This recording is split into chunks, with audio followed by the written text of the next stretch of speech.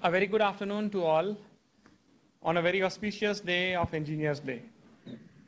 Someone has rightly said that without engineers, science is just philosophy.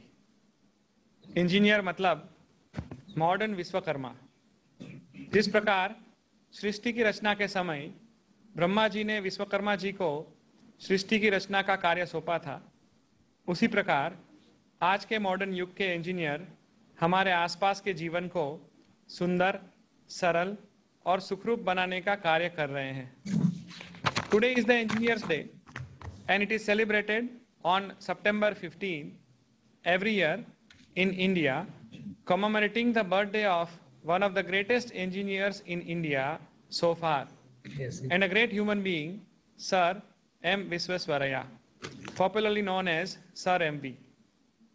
Engineers Day is celebrated for the great works of Sir MV towards the development of various places which are the most developed city of today's India. With this small introduction, Namaste and a very warm welcome to our distinguished speakers, all the dignitaries, invited guests, executive deans, deans, directors, principals, heads, faculty members, and dear students to the celebration of Engineers Day and a distinguished lecture on the theme Atmanirbhar Bharat, indigenous NavIC technology and its application. We are fortunate to have with us today's distinguished speaker, Sri Nilesh M. Desai sir, a distinguished scientist and an associate director of Space Application Center, SAC ISRO Ahmedabad. We are also pleased to have Dr. Rakesh Patel sir, Pro Vice Chancellor and Executive Dean, Faculty of Pharmacy, and Dr. Amit Patel sir, Pro Vice Chancellor and Executive Registrar, Ganpat University. We welcome you, sir, on this auspicious Engineers Day online uh, session. With this note, I would like to introduce Dr. Amit Patel, sir, Pro Vice Chancellor and Executive Registrar, Ganpat University. For his welcome address, Dr. Amit Patel, sir, is a Pro Vice Chancellor and Executive Registrar of Ganpat University. He served Ganpat University as the Registrar for more than five years and subsequently has been promoted as a Pro Vice Chancellor and Executive Registrar. Prior to joining the registrar, he was an assistant professor with Faculty of Management Studies. Sir has been with Ganpat University since 2005. He possesses good leadership quality, organization building, entrepreneurial skills, and positive go get together attitude. In his own words, I would address him as a people engineer because today is an engineer's day. And uh, Dr. Amit sir is a long mile marathon runner. He loves reading books on life skills. Now, and his special interest is on environment and sustainability. I would request Dr. Amit Patel sir for his welcome address. Please, sir. Thank you, Anand Bhai, for uh, very good, a long introduction. So I request from now onward, next onwards, keep it very brief. Right, sir. Uh, today's distinguished guest, uh, Dr. Desai Saab, uh, thank you very much for accepting our invitation. Uh, we are very glad and we are obliged with your uh, acceptance to deliver a session on this very special day uh, of uh, uh, for engineers. Before I, I address uh, my formal uh, welcome address, I would like to begin with few of the quotes that we used to, you know, use while we were in engineering program. So I would like to remind to remind those quotes to all my students and my uh, colleagues here. Uh, one of the quotes that we use, even till date we use it, it's a four-year program, we study 40 subjects. we do 400 experiment, we write 4,000 assignment and we pass through 40,000 hours. A normal human cannot do it. And those superhumans, they are called uh, engineers. Uh, engineers, they carry some ego. So the ego of engineers would be reflected by one more quotes. The world cannot change us, but we can change the world. We don't have books in hand, but we have a revolutionary idea in mind. We are the rarest common race on the earth. Meet us, we are an engineer. So that's how we feel proud being an engineer. Though our humbleness also reflects in a, a quote which has been similar to the quote which has been given by a very famous author, Rudyard Kipling's, a famous author of the Jungle Book, who has quoted for mothers that God could not be everywhere and hence he created a mother. Similarly, God cannot do everything and hence he created an engineer. So the engineers are the one who, who are meant to do the godly job. They are meant to serve the humanities. They are meant to create this world better place to live than they arrive. With these words, I welcome all of you on this auspicious day of uh, uh, of a birth ceremony of uh, a Bharat Ratna, Sir M.V. Visvesvaraya, who is known for his greatest contribution in nation building. He did not contributed only in engineering uh, field, but he has contributed socially, economically, and technologically to transform this nation and become a developed nation. So the India is celebrating his birth anniversary as a, a, a engineer's day. His contribution that we all know as a civil engineers and building a greatest project in this country and particularly in the Mysore state and later on he took over uh, the major projects in the country also. So today is his birth, birthday and we are celebrating this engineers day. To celebrate this day, we have with us uh, uh, Professor uh, Dr. N.M. Desai sir, Associate Director, Space Application Center, ISRO Ahmedabad. Sir, thank you very much for accepting our invitation and uh, helping us to spread this knowledge of engineering and how the ISRO is contributing into the nation building. We all know ISRO has greatly built a great space applications and brought a lot of laurels to the country. The father of ISRO that we all know, he created a great institutions uh, with the help of a lot of scientists and ha has inspired a lot of young engineers to uh, join this uh, this organization and contributes to uh, the space research uh, uh, technology. I, I, with these words, I welcome you, sir, along with uh, our Pro Vice Chancellor, our executive deans, deans, faculty members, and students to join this celebration. Thank you, everyone, for patience listening. Uh, thank you. Thank you, sir. Uh, moving further, uh, let me invite the dynamic persona who believes in uh, initiation, action, teamwork, and creation none other, than Sri Nilesh M. Desai sir. Sri Nilesh M. Desai sir is a distinguished scientist. He is currently the Associate Director of uh, Space Application Center, SAC ISRO Ahmedabad. During the last five years, Sir also served as Deputy Director of Microwave Remote Sensors Area, MRSA, and SATCOM and SATNAV Ad, uh, Advantage Applications Area of SAC. Sir is a gold medalist of 1986 batch of BE Electronic and Communication of LD Engineering College, Gujarat University, Ahmedabad.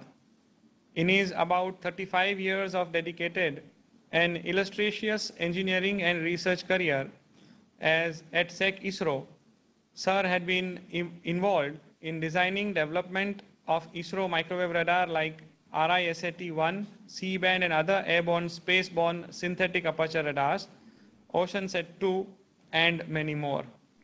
Sir represented ISRO India at various international forum at Australia, China, France, to name a few, and many other countries. He is energetic, enthusiastic, and spends considerable time and energy in giving direction towards various professional and outreach activities of school and college students at SAC ISRO. I invite Sri Nilesh Desai sir to share his valuable thoughts with us on a topic of Atmanirbhar Bharat indigenous NAVIC technology and its application. Please, sir. outset, let me thank Ganpat University and all its office bearers for giving me this opportunity to present some ideas regarding our navigation technology which India has developed. So I'll go into, deep into the details of this so that you get to know about the basic configuration of this very important indigenous system. So, and all of you are well aware, today is Engineers Day, so it is the apt occasion to listen to something regarding uh, indigenous technology. So, as uh, Amit Bhai has rightly pointed out, so this is a very important day for all engineers, and I am also basically an engineer from LD Engineering College. And after this, straight away I joined ISRO, and uh, I have enjoyed working in ISRO because it has given me a lot of opportunities to do new things. So I will tell you about one of the things which we have been working on since last uh, almost more than 10 years. And in fact, I was associated with this particular activity since last almost uh, four to five years.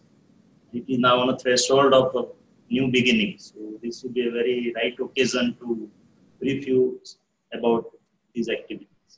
I'll start my presentation along the way, if anybody has any question, that also we can take up during the lecture or after. I am audible properly. Yes, yes, Yes, perfectly sir, okay. So now I'll just start my presentation.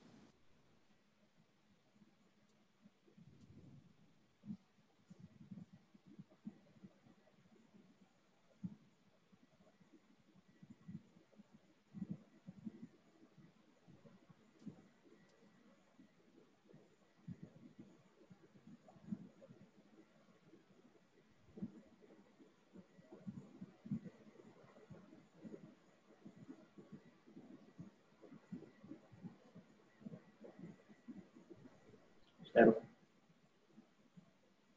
Are you able to see the screen? PPT. No, No, PPT sir. has not opened up. Uh, can you please open the PPTs?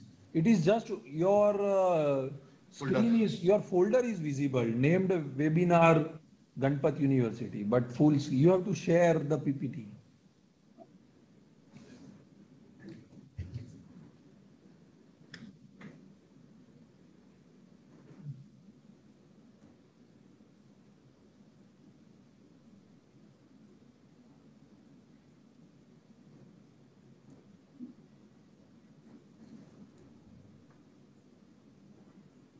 Yes, now it is perfectly done.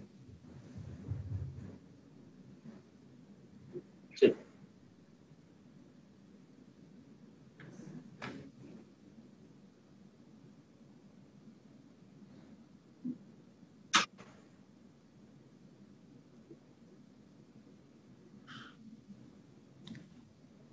Navic. Is it okay now? Yeah, yeah, perfectly. Let me begin my talk. This is Atmanirbhar Bharat's indigenous NAVIC technology and its application. So as I mentioned, it is our indigenous technology and how this technology was developed, what is the configuration and how where it can be applied. So these are the few points which I will cover in today's brief lecture of around 30-35 minutes, what you have allocated. So basically I will be covering the NAVIC technologies, how it has been built and what all technologies are involved and how you can use it for different applications. And all of you know GPS. So it is a Desi GPS or Indian equivalent of GPS and government wants to promote this particular activity. What you're seeing in the screen left hand side is our logo for this particular uh, configuration, navigation system, which ISRO and India has developed. Today is 15 September, Engineers Day. All of you are well aware, Dr. Visvesvaraya's birthday. And it is also a very important day, not only because Dr. Visvesvaraya was born today, that all of us, we know that. In fact, uh, today, is yesterday, 4th, 14th and 15th are almost go together. 14th is Hindi Day, and then 14th, uh, if, if you remember in 2015, this LIGO experiment related to gravitational waves. So that was first time it was observed in 2015. So that way also it is a very important day. But more than all that, all of you know Google. So Google, that domain name was registered today. In 1997, first time this Google domain name was registered. And Google is well famous, all of you know.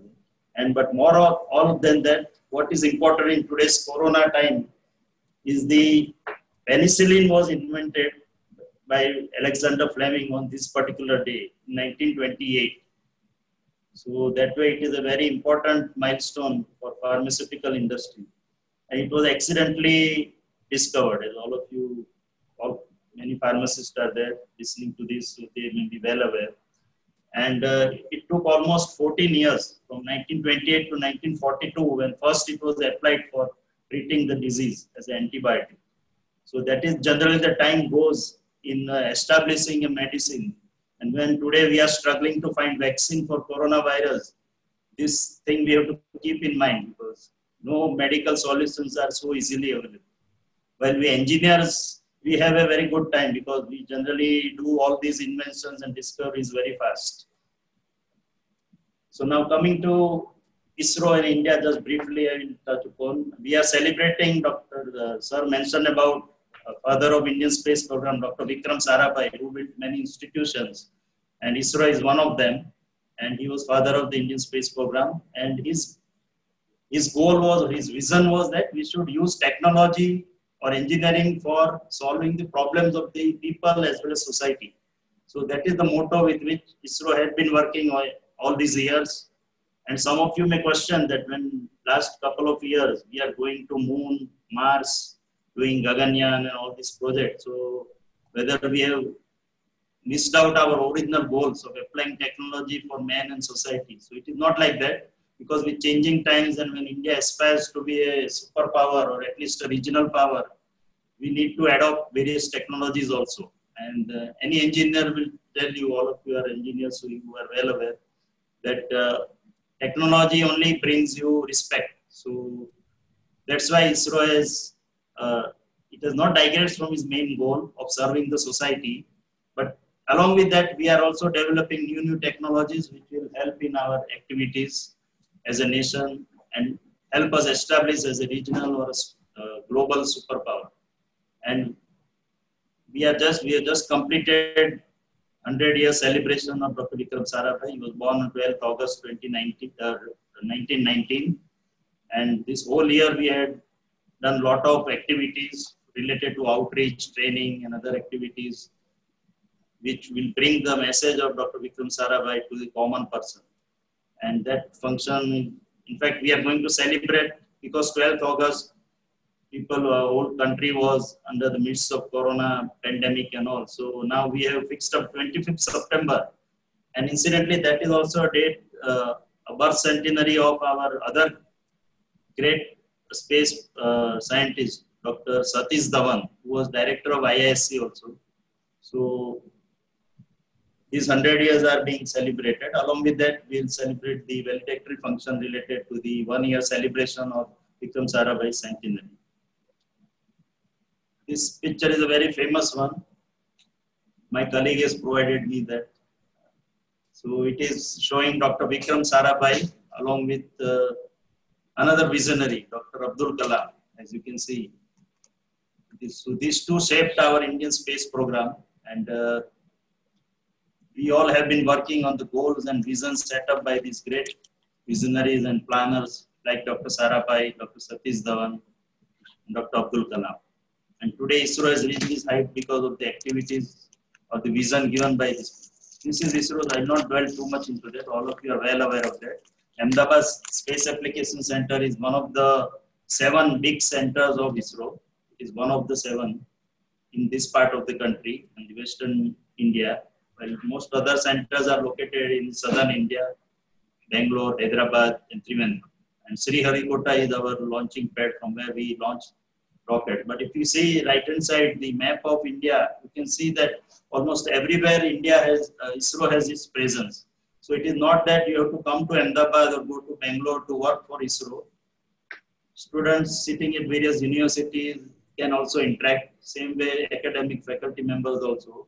And we have set up various incubation centers, other innovation centers. We are funding a lot of research projects through our sponsored research and other programs. So that's why I showed this slide to give you an impression about that ISRO is omnipresent, almost present everywhere, all across the country. This is our Space Application Center. Many of you would have already visited our place, but if you're not seen, I welcome you all here as and when any opportunity or occasion arise. So this is our heritage. You are seeing the big antenna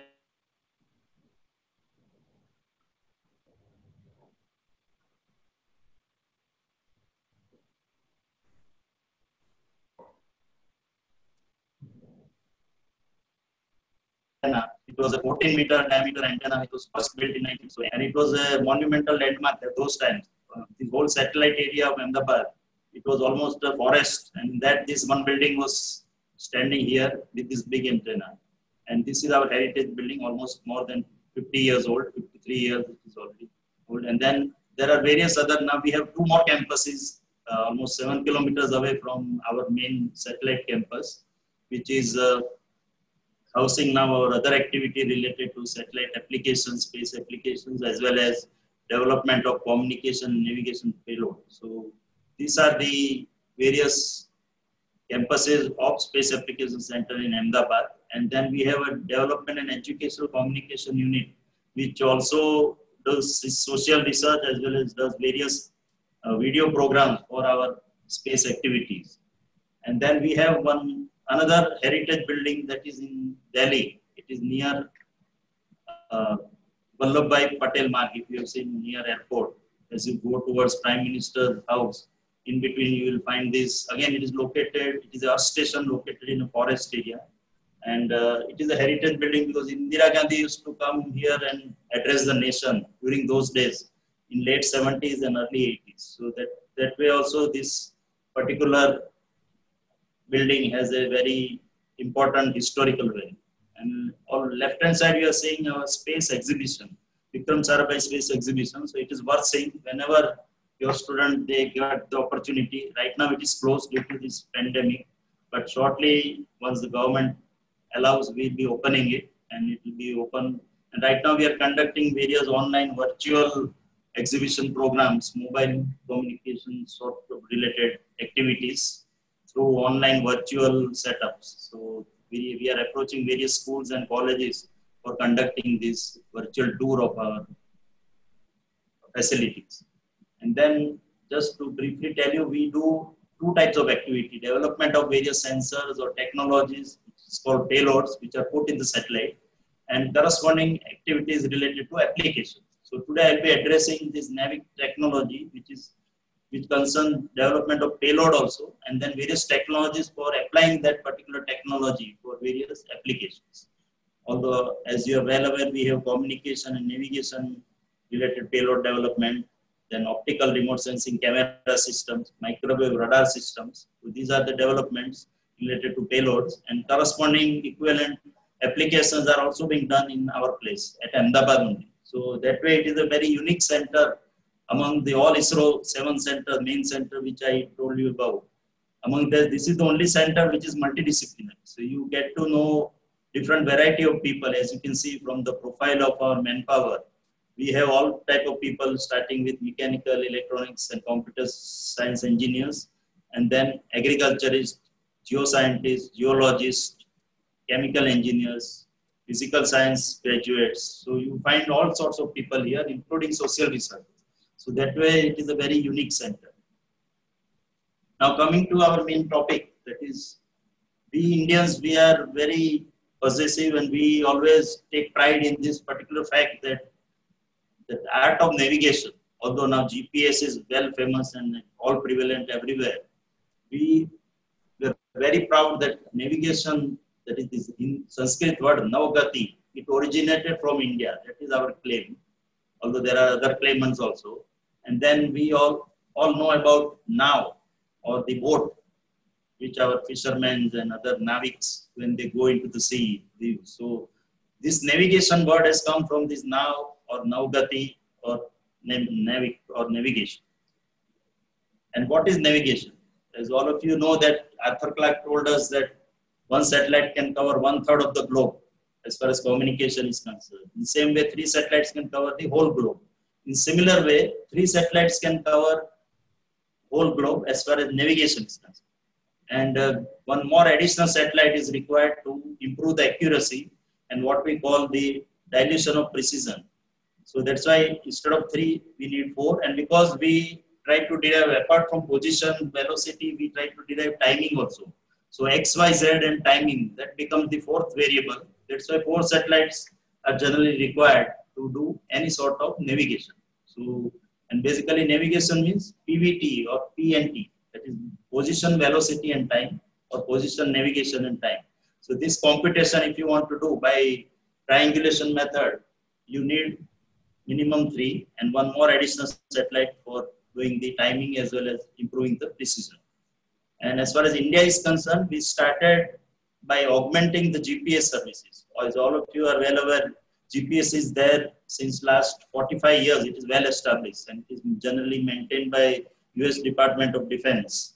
And they have set up a joint company called Navstar GPS. So that controls the whole GPS activities in the whole world. So to aid this GPS, to improve the accuracies of GPS, India came out with this program. It is called satellite-based augmentation system called GAGAN, GPS-aided geo-augmented navigation. So that was our first attempt or foray into the navigation activities. And by 2015, we have launched three satellites which contain this Gagan payload. So this is exactly not having a basic navigation services, but it is augmenting the GPS services. And why it is required to be augmented? Because as such, if you try to use GPS for applications like civil aviation, then its accuracy and integrity is not acceptable to civil aviation authority because all of you know where human lives are involved when you are traveling in aircraft. So everything has to be very precise and accurate. So for aiding such takeoff, landing and other activity for aiding the pilot, you need this Gagan or the GPS or satellite based augmentation system. So their only GPS active, uh, accuracies are not good enough or integrity is not good enough. So that's why various countries have developed their augmentation system. So India has come out with our own Gagan augmentation. And having experience with Gagan, now we have embarked on uh, developing our own IRNSS, Indian Regional Navigation Satellite System, or navigation with Indian constellation called NAVI. And that was with started from 2013 to 2016. Within three years, we established the whole constellation. I'll come to that detail. So these are the two things which I mentioned. Already I have covered this. So basically, Gagan is augmenting the GPS accuracies. So and its main application is for civil aviation. When planes are traveling or when they are in the air also, or when they are landing or taking off. So to aid the pilot in making proper judgment, these Gagan receivers are being used. And similarly, our own navigation, Indian regional navigation satellite system, about which I'm going to talk next 15, 20 minutes.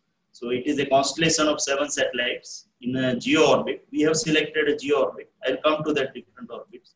And the basic idea is to provide reliable PNT services all across the country and around 1500 kilometer in and around India.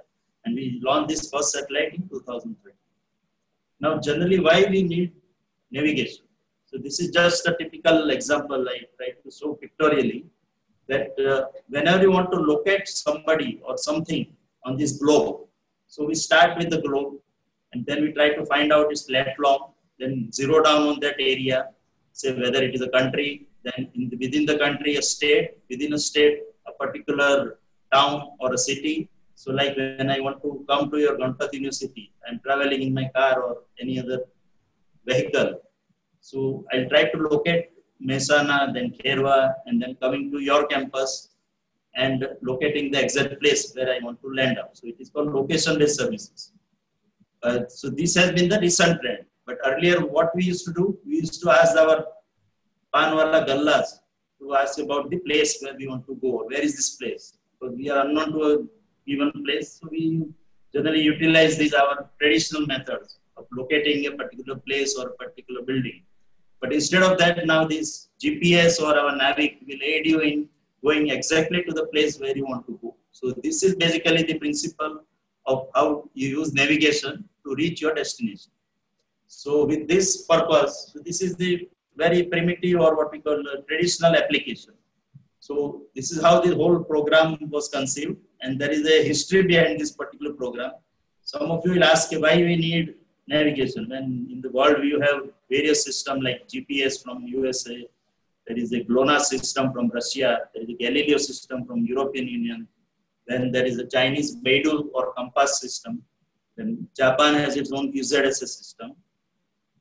So India came out with its own system called IRNSS or Indian Regional Navigation Satellite System. And our goals were very modest. We tried to limit ourselves to Indian region and some 1500 kilometer in and around India, covering almost the whole Indian subcontinent.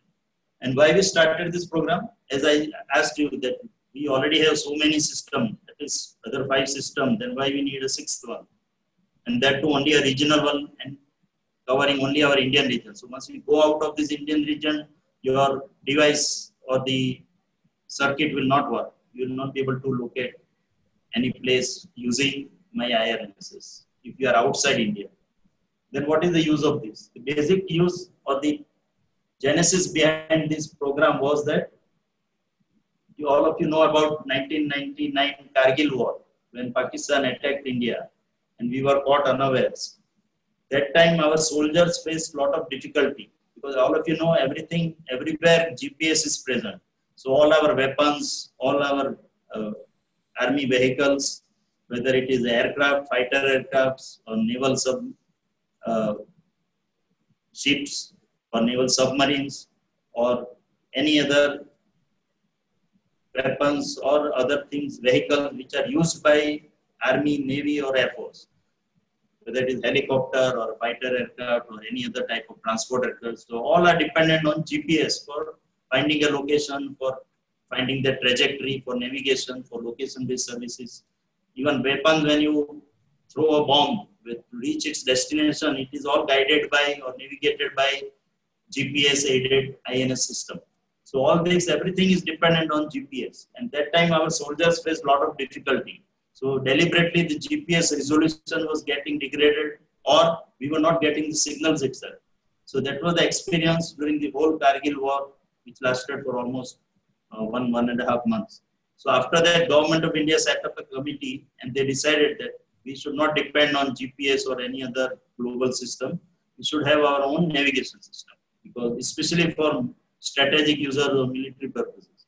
So with that idea, this whole program was conceived and since we were developing it for strategic purpose, the, all such systems have a commercial or a, what we call a civilian application also. So in that, these two types of services were added, which is the civilian service is called standard positioning services and the strategic service is called restricted positioning service. So what is the difference between the two? One is modulation and all that is all two technical things. I will not go into those details. Frequencies are same, and basic accuracy is also more or less the same only. Although we have targeted 20 meters and 10 meters, that was because we conceived this system almost 20 years back. But uh, what we are achieving nowadays is almost 3 to 5 meters, which is equivalent to what GPS or any other global system gives us. But the basic difference between these two systems is this, these services is that the second one, the restricted services are all encrypted services. So person who does knows the code or the key for this encryption, he only can decrypt it. So that is meant only for very critical infrastructure or only for strategic users. So they only will be able to receive this signal or decode it and use it for their application. So that is the difference between the two services. Otherwise, they are almost same. And uh, the second service, nobody will be able to jam it or spoof it. Spoofing means you, you are deliberately misguiding a weapon. Say I'm I'm launching a missile. So instead of going towards Pakistan or China, it will land in Indian territory itself if it is spoofed. So if it is wrongly misguided to a wrong place. So that is called spoofing. So all these navigation all these are the tools which various countries employ to divert the trajectories of weapons and other missiles or aircrafts and other things. So that's why this whole service has to be spoof proof or anti-spoof measures have to be there, anti-jamming facilities have to be there, it is to be encrypted so that nobody will be able to decode it. So all these features are there in the restricted positioning service. So this is how the whole constellation looks like. So this is our Earth or globe. around that these seven satellites are moving. Why we need seven satellites? Because then only you'll be able to cover the whole Indian region and 1500 kilometers around that. So, and now we have plans to augment it with another four satellites. So if you see two satellites on either side of the equator and three satellites on equator. So they form the seven satellite constellation. And then we'll be adding two, two satellites on either side, on left hand side and right hand side. So that way we'll end up with a 11 satellite configuration within next uh, two to three years. So that will be our final configuration because we want to increase the visibility. You must have seen if you when you are watching your mobile and trying to locate any place that many times you see some eight satellites are visible of GPS, sometimes 10 satellites, sometimes 12 satellites. So because these satellites are moving, they will be within different regions of visibility as far as the device is concerned. So same logic applies here, but since we have gone for a geostationary orbit, so these satellites are always visible over Indian region. Because you know geostationary satellites appear stationary, its signals are always available. But still, depending on its elevation angle, many times signal will vary, its strength will vary. So sometimes you will not be able to pick up some of the signal because although satellite we say they are stationary, actually they form a figure of eight, as you can see. Satellite 1A and 1B, which and 1D, 1E. So they always drift from their orbit. So they will form a figure of eight in their orbit, and that needs some correction. So that will cause the perturbation in the signal which we received on ground. And these are just showing some pictures of our satellite which house this particular navigation payload. And I've already mentioned this. So we operate in different frequency bands. This is a dual frequency service. So we have L and S band. And uh, NavIC has some advantages over GPS. There are some disadvantages also. But basically what being geostationary satellite, with seven satellite only, we are able to cover the whole Indian region. Well, GPS will need almost, it is a constellation of minimum 24 satellites. And they have put spare satellite also. So almost 32 satellites are orbiting right now in globally. But the only advantage is that it provides a global service. So where, whether you are in USA or China or Europe, you will be able to receive GPS signal. So that is not the case with our IRNSS. Although we receive some signal as far as South Africa or Australia also, but number of signal will not be seven. Although we have seven satellites, we will receive somewhere we will receive two signals, somewhere we will receive three signals like that. So these are the basic differences between these two. Comparatively, just to give you an idea, these are the five major system and of course Japanese is also there, but Japanese system is again augmenting GPS system. It is called QZSS. Now these are the five basics we are called service providers. So India is one of them. So that is also a matter of pride for India when we develop this navigation system.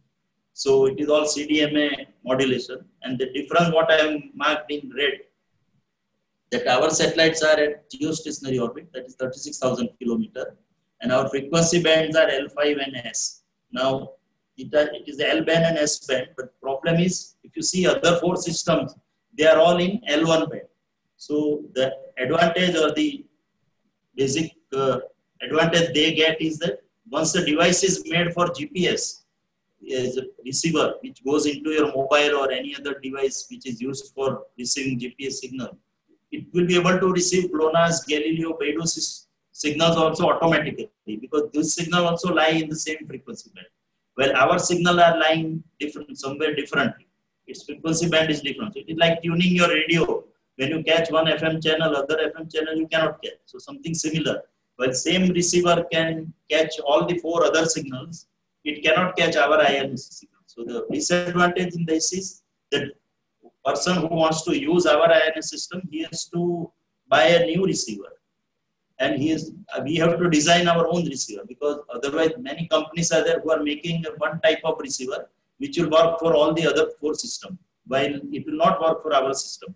So that was our initial handicap we faced. And that's why we took long time in establishing our system and make it more popular to a user because user are used with GPS or GLONASS or Beidou system. So why they will switch over to IRNSS? That is the fundamental question. But it is our indigenous or our own system, our Swadeshi, or to make India Atmanirbhar or independent of others. This is required, and slowly government will be bringing out various regulation to make it compulsory as a part of your mobile or any other places on your car vehicles. wherever you are using trackers, vehicle trackers, everywhere it will become mandatory to use Navi. These are just to show you the symbols of various countries. Our symbol is also equally attractive. If you see, compare with GPS or Galileo or Beidou. So these are the six basic service providers, and India is one of them. So that is, as I said, it is also a matter of pride for us. In summary, so this is the region which our signals will cover or are covering. So it is 1500 kilometer area around the Indian map. So, but as I said, we can receive signal as far as Australia and South Africa. Only place you, where you don't receive our signal is in continent, American continent. Both North and South America, you don't receive this signal. This is in summary is the constellation of NavIC. So as you can see, it is many times when ISRO is working, people think only of space segment or satellites. But actually, this when you try to establish a navigation system, it is not only putting something, some satellite in space with this navigation payload. It is also it also involves putting a lot of ground infrastructure. So you need lot many earth station on ground also to aid in providing these services. And apart from the third segment is called user segment, as you see in the middle. So user segment is most critical because I, I have already put satellites in orbit. I have already set up my ground systems, but still users are few or users are less because your user segment is not that established. So unless, as I mentioned, we develop different varieties of receivers which are usable in mobile, in your radio, in your other vehicles. So till then, it will not become popular. So right hand side, you are seeing one of the our IRNSS satellites. So such seven satellites we already launched. In fact, IRNSS 1A develops a problem. All of you know these satellites will need what we call atomic clock because it has a very, very high stability, 10 raised to minus 13 per second. So that means that it will drift by one second in 10 raised to 13 days. So that is the frequency with which the stability is achieved. So that's one A satellite, all three, we put actually, we need only one clock, we put three clocks because in satellite, all of you know, we always have redundancy. Because if one goes bad, I can switch over to another. So like that, for this critical atomic clock, we have put not only one, two, but three clocks in one satellite. But all three have failed, in particular one satellite, 1A. And now 1G has also developed similar problem. So it was basically a design fault. These clocks were procured from a European source, from Switzerland. And uh, there is a basic design problem. We have found out that problem and from last two satellite onward, this problem has been solved.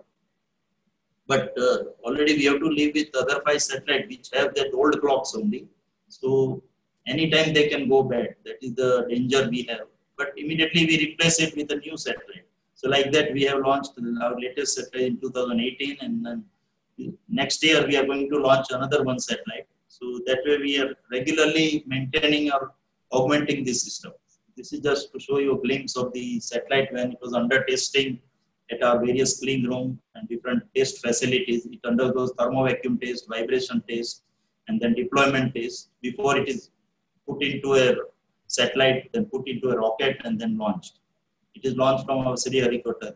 And as I mentioned, it is not only putting satellites, along with that you can see all over India we have various ground stations. So these ground stations do orbit keeping and they give you the correction factors. So these are all regularly being updated and given to. When you use a GPS or a NavIC chip in your mobile, it is not only receiving signal from satellite, but it is also receiving these correction factors because when you want to achieve a 3 meter or 5 meter accuracy of a position, you will need, as I mentioned, a clock which is very highly stable. So it, of the order of picoseconds. So to achieve that picosecond stability 10 is to minus 13, minus 14, that sort of thing, you need a lot of corrections to be implemented in your final navigation solution. So these all things are provided by this infrastructure which has been set up on ground. So we have our Lucknow, Byalalu, Bangalore, Mysore, Hassan, and all the other 16 places we have various uh, integrity monitorings. So who receive the signal and they find out correction factors for different different locations and then they transmit to a single place and which are then relayed to the actual receivers. So now coming to the applications, as you can see, you name any field and GPS will have its application there in that particular field. Whether it is transportation, whether it is location-based services, whether it is surveying, whether it is agriculture, aviation, civil aviation, we already talked about timing and synchronization in power grids or power stations. Similarly, railways, maritime, air force, air applications. So everywhere you name it and GPS is being used there. So almost 95 to 99% of application which we can think of or already they are using GPS. And our aim is, India's aim is, Indian government's aim is, ISRO's major aim is that how we can replace GPS everywhere with our NavIC system. And somewhere if it is not possible to replace, at least we augment it with our NavIC system. So it will have capability to receive both GPS and NavIC. So when you, now the trend is towards using multi-GNSS system. Multi-GNSS means once, if you receive signal from say GPS also, GLONASS also, NavIC also, then you can utilize the signal from all these satellites to find out a better solution.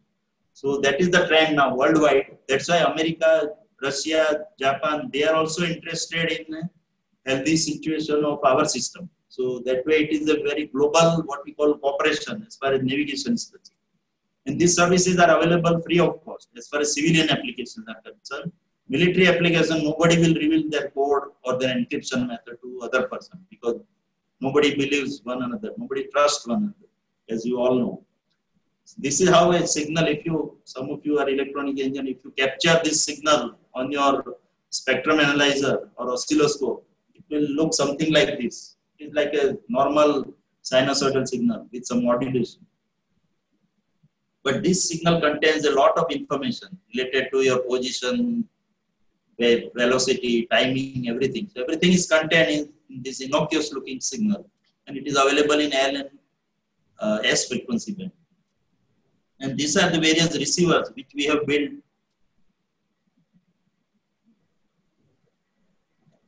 to receive this signal as far as NavIC is concerned. And as I mentioned you, now the trend is towards GNSS receiver. So same my chip can receive signal not only from NavIC or IRNSS, but it will receive signal from GPS also, GLONASS also. So I process all the signals and find out a very accurate or better solution. Right hand side top, you are seeing various types of antennas which are required to be utilized with this. So it could be a small wire type of antenna. Along with that, it could be a very big antenna to have a very high precision receiver. One major task, uh, you will ask me, what is so great in this GPS receiver or the GNSS receiver or the NavIC receiver? So you see the block diagram of this chip. So everything will come into a single chip. it is called what we call a single chip, which will receive the RF signal, do the processing, and finally it will bring out the navigation signal. And if you see the block diagram, any of you who are aware of this, so starting with antenna, RF front end, signal processing, microprocessor based embedded system, and then final output. So whatever you teach or whatever you learn or study during your semester 1 to semester 8 of electronics and communication engineering, everything is there in this particular single chip, in a single this block diagram. You name any circuit which you have studied in your 8th semester and everything is being utilized including power supplies, antennas, RF front ends, signal processing, high-end signal processing, then embedded system using microprocessors. So everything is required to make this one chip which will receive the GPS or NavIC signal and process it to find out your position. So these are the different chips which have been developed for NavIC. And as I mentioned, many of them can also receive different type of other GNSS signal. So we took a lot of time in establishing this whole system because it is not easy, as I mentioned to pack everything into a small chip of die of size 2 by 2 mm or 3 by 3 mm. So you need to use a very latest technology which is very low power and miniature. So these are some of the developments which have been done in-house at ISRO and using that we have made a NavIC simulator, then a radio sonde, then a NavIC drifter which will help in uh, finding out the sea currents when you are going for swimming then a timer display at various museums or historic places. So all these various applications, and these are all tuned or locked with the NavIC signal. So because all of you know, we many of our timings are locked with GPS. So now slowly, say like railways, they were earlier locked with Indian Standard Time, which in turn was locked with GPS signal. So that all now we are shifting to now NavIC signal. So these are the numbers we have achieved. We carried out trials, field trials of our NavIC system using those receivers which we have made all across the country, whether it is east, west, south, north, northeast, in Andaman Nicobar, everywhere we try to find out the accuracy of our system. And as you can see from this table, almost two to three meter accuracy has been achieved everywhere consistently. So this again is giving us a very good position accuracy and timing information. So this is one of the major application, as you can see, vehicle tracking. All of you know Ola, Uber and other things. So now government has come out with uh, AIS 140 standard, which is mandatory for all public transport vehicles should have a tracking navigation system. So earlier it used to be GPS based and now onwards from last two years onward, government has made it mandatory to, it should also include NavIC signal. So now people are making a vehicle tracker which has both GPS and NavIC signal or only NavIC. So that is mandatory. You should have NavIC. So this is how a vehicle tracking application is run. Similarly, like you, when you go from one place to another, you use the right and all your billing and everything is dependent on these navigation tools. Then another major application with some of you, your civil engineering uh, graduates, you can appreciate that for surveying or finding out the area of your farmhouse or your built up area of your building and other thing. So surveying is a major application. The differential GPS is used because you need to have accuracy of the order of centimeters or even millimeters, few millimeters. So all because your area is mapped with high precision, so that all billing and other things can be done. So differential navigation is where you have one stationary reference and using one rover, it is called a moving receiver, which you can cover area of around almost 100 kilometer and get a accuracy or position precision of almost one centimeter or even less than that. And we use that for testing our Chandrayaan 2 lander experiment when initially we did for landing of the Chandrayaan 2 lander. That time also we utilized this our NavIC system for testing the accuracies of height as well as position. So this is the basic method of using differential methodology for doing the testing. And these are the four major applications where governance it is used by uh, Union Government of India. So one is all our railways now, Rajdhani and all Shatabdi Express, they are now fitted with this NavIC receiver and a satellite terminal. So wherever the train is moving on this Indian map, wherever it is moving, whether it is in East India or West India, this track is being continuously monitored at a central place in Delhi. In Chanakyapuri, they have wherever our this uh, reservation center is there, where all this software they have maintained. So at that place, they have set up this whole signal monitoring as well as uh, railway signal traffic monitoring system. So they receive the NavIC signal. So each locomotive or the engine will carry a NavIC receiver along with satellite terminal. So wherever it is moving, it will the signal is continuously being tracked and it is the signal charts are prepared. In fact, the routing of various train routes also is now done automatically using this NavIC signal. Then another application is, as all of you know, when Bombay happened, when the Pakistani boat entered our waters and nobody knew about that.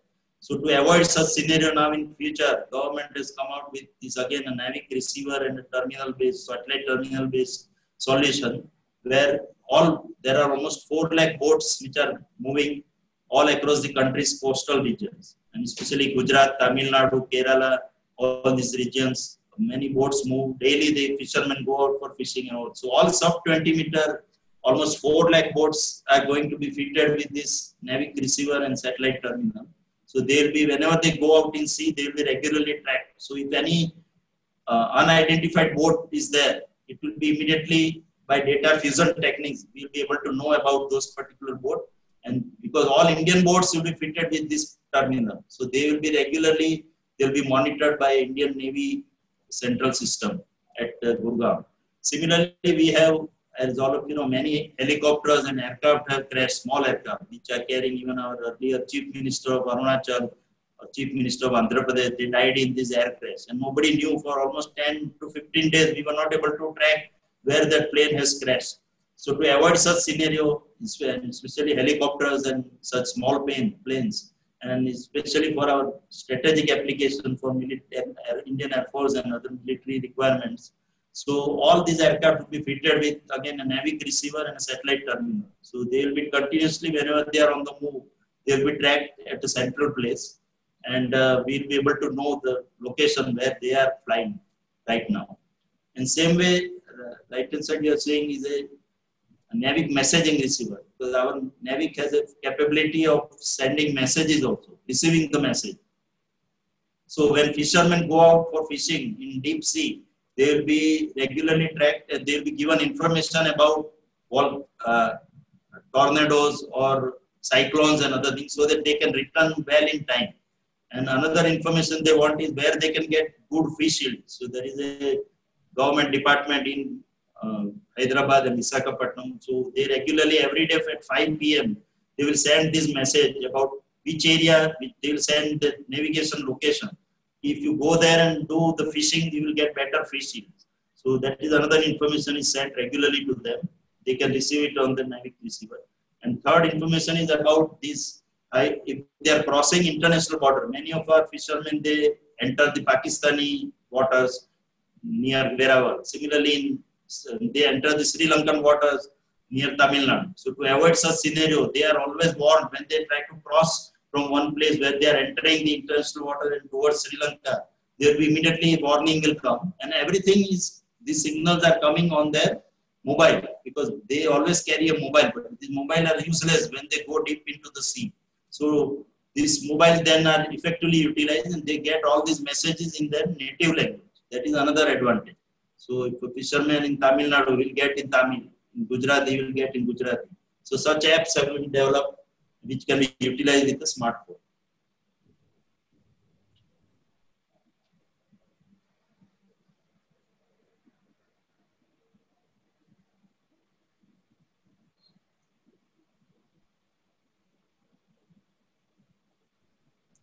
So this is what we are saying, what I was explaining you. When train is moving on the track, so using this satellite combination of this is our NavIC satellite where my and this is another our mobile satellite. So this receiver information goes to the satellite and from there at a central place at a hub.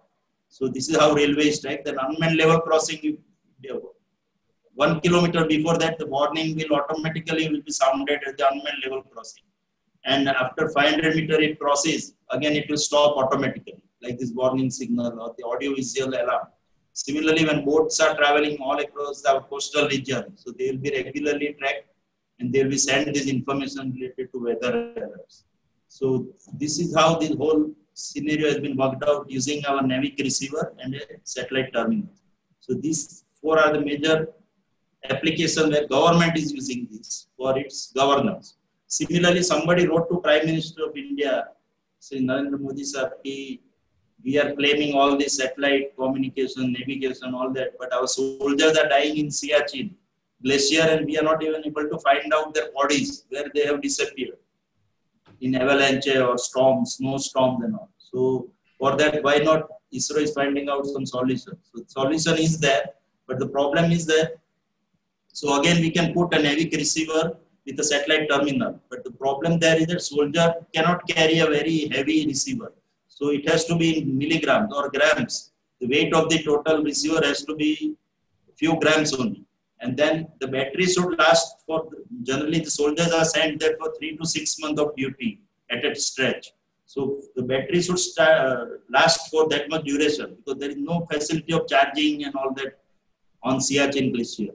So all these things we have to take care and design and then finally it has to survive in that very cold atmosphere of minus 55 degree or six, minus 60 degree centigrade.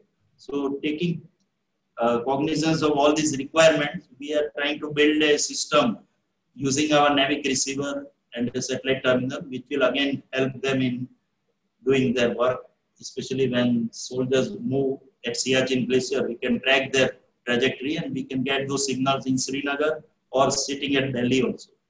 And then various type of what we call the encrypted receiver, which I talked about. So these are being made with a very complicated encryption technology. So this can be only deciphered by our military users. So that is another major application of the NavIC signal. And then all our launch pads, as well as our tracking station, all our other uh, networks, whether it is in ISRO satellite tracking systems, everything we have synchronized with instead of GPS timing or Indian standard time, it is now locked with the NavIC time. So that is one other major requirement. So that is what we call a one PPS signal and 10 megahertz clock. All of you know this, all instruments are locked with a 10 megahertz signal. So these all things locking now happens with a NavIC timing signal. So that will give you a very synchronized timing. Any transaction, even financial transaction which happen anywhere on ATM, so all will be time stamped with a NAVIC time. Similarly, power system grids, because that is a very major source. Whenever a war happens, first thing they attack is the power grids of a country, because that will disrupt the power supply. So to avoid such disruption, again, if it is GPS based, then we are dependent on GPS. So everywhere now government is trying to replace that with a, our NAVIC based timing and synchronization system. So all that 50 hertz timing, everything will be derived using a NAVIC locking signal. So this is how some experiment we carried out in the power system control system at these five places and all across the country so that we want to see the consistent performance of our NAVIC system. So like that, you can synchronize all your computers in your university or we are doing it in our place at ISRO, all over ISRO, they are all locked with now NAVIC time. So you can log on to this server www.sec.gov and get the NAVIC timing and lock your computer with a millisecond precision. But when you do it through a NTP server, it will be a millisecond uh, resolution. While if you do with a direct 1 PPS signal, it is of the order of 15 to 20 nanosecond accuracy. And then finally, we also used it for tracking our rockets. Whenever we launch a rocket, it is always its navigation is aided by gyros, accelerometers, and a GPS receiver. So that now we are replacing it with all NAVIC receivers. So all our PSLV and GSLV launches, they happen with a GPS plus NAVIC receiver. Why we need GPS? Because when it crosses a certain time, that time availability of NAVIC signal is not there. So it is a combination, as I mentioned, nowadays trend is towards using signals from all the satellites which are providing navigation service. So we have devised this scheme which you are seeing on your screen. And similarly, now we are, ISRO is working on Gaganyaan project. So the first thing we tested on Gaganyaan experiment was that when, if some accident happens at the launch site itself, like the Challenger disaster, when seven astronauts died in the Challenger disaster at the launch pad itself, because it busted and we were not able to rescue them. So if something similar happens on our launch pad, immediately that crew module will be taken out. It, will, it is called a screw escape module and it will be safely landing on our Sriharikota uh, nearby ocean. So to test that system, again, we have used our NAVIC receiver and satellite terminal. So the whole trajectory of the crew escape system was tracked using a NAVIC receiver and a satellite system. And then ultimate thing, all of you, what you are looking for is when our mobile phones will have NAVIC. So already it has started coming in high-end mobiles, especially like Mi8 and some other uh, versions from Samsung. So Xiaomi and Samsung. So they have come out with the high-end mobile which cost almost more than 50 to 60,000 rupees.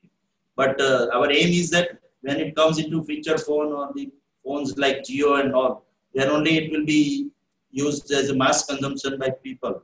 So that is the aim with which government is also working. And now Qualcomm and Broadcom have already come out with the chips which will receive our IRNSS signal. So it is a matter of time only when all our mobiles and government will also thinking of coming out with a regulation that if you are using a mobile phone in India, it should be NAVIC enabled.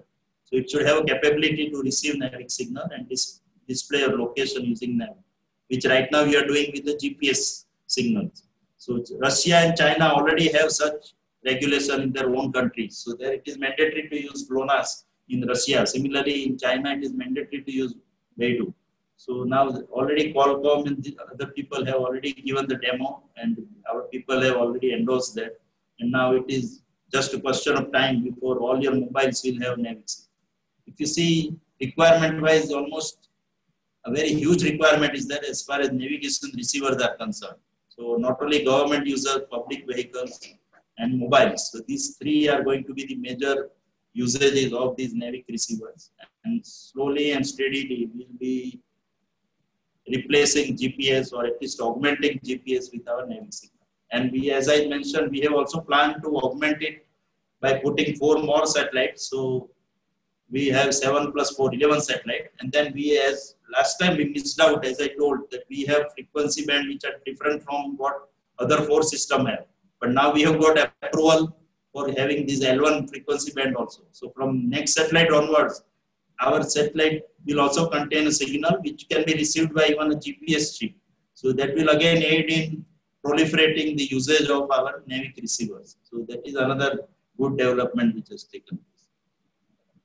I invite all of you to please visit our exhibition whenever it gets opened up and you get a chance to visit to Ahmedabad. Please do come to our place, visit our center and especially our exhibition. You'll come to know more, many more things which ISRO has been doing or read some, some of the books related to ISRO from some of our ex employees, ex uh, management people, as well as some other people have also out of their interest, they've written lots of books on ISRO. So they will give you good information about our activities. So with this, I thank all of you for patiently. Thank you. Thank you. Thank you very much, sir, for uh, sharing your knowledge and expertise on NAVIC, an indigenous satellite navigation system, and providing detailed information regarding the latest technological development in India through SAC ISRO. In fact, we have a few uh, questions over the period of time through the chat box, but uh, as the presentation progressed, uh, most of them have been answered. So your presentation was so informative and insightful that it has answered, uh, fortunately, all the questions which have been raised in the chat window. So uh, we are not left with any further question. So I uh, would like to move forward and would like to request uh, Dr. R.K. Patel, sir, our Pro Vice Chancellor uh, and Executive Dean, Faculty of Pharmacy, Ganpat University, to felicitate Shri Nilesh Desai, sir, with the statement of gratitude. Please, sir.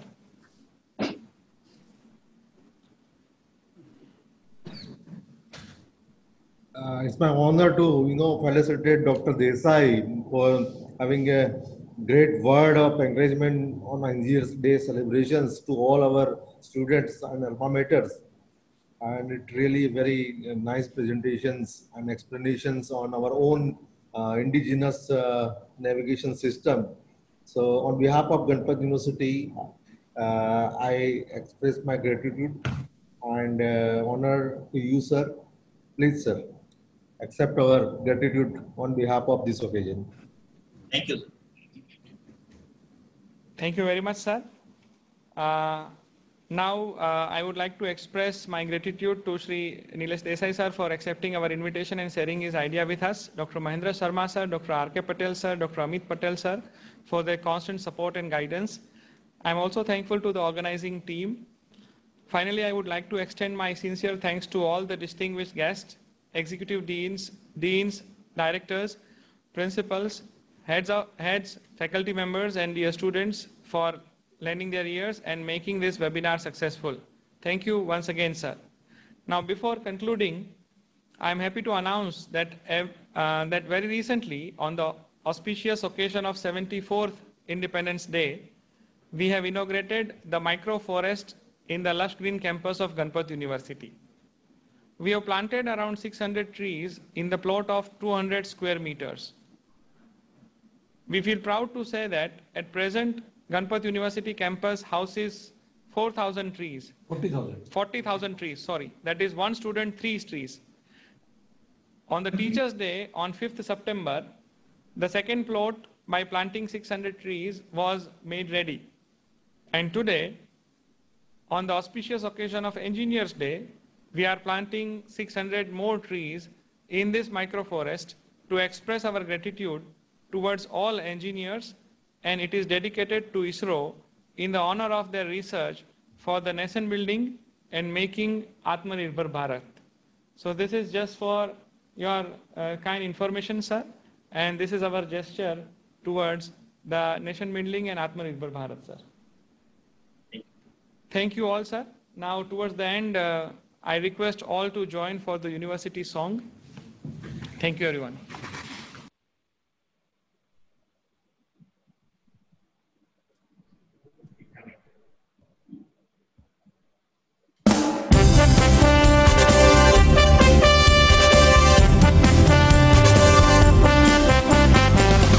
Ganpat Vidyanagar तणा, हमें तेज पुंज अविनाशी।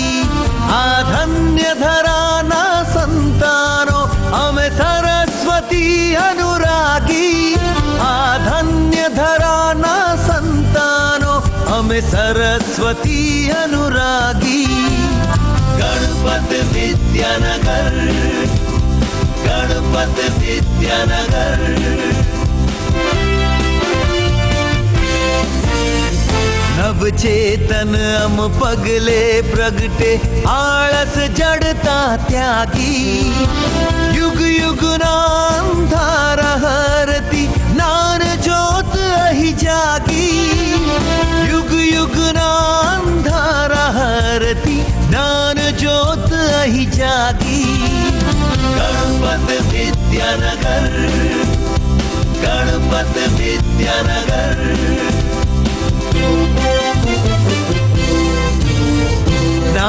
तना निर्मल प्रकाश थी, धर धर उज्जवल करशु सत्य प्रेम करुणा छल कावी, स्वर्ग भूमि पद धरशु सत्य प्रेम करुणा छल कावी, स्वर्ग भूमि पद धरशु गणपत विद्यानगर गणपत विद्यानगर। समाजनोत्कर्ष साधवा, हमें विद्या ने आराधी। रहे न कोई दीन अकिंचन, क्रूर दुष्ट हत भागी। रहे न कोई दीन अकिंचन, क्रूर दुष्ट हत भागी। गणपत विद्यानगर गणपत विद्यानगर।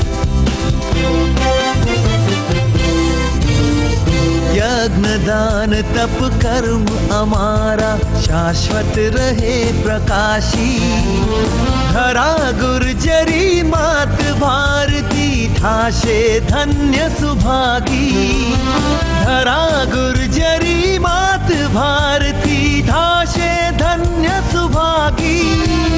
गणपत विद्यानगर गणपत विद्यानगर। विवेक विद्या पराक्रम थी, अंबर आंबी लईशु। सुजलाम सुफलाम धरती माना, चरणे जीवन धरशु। सुजलाम सुफलाम धरती माना, चरणे जीवन धरशु। गणपत विद्यानगर।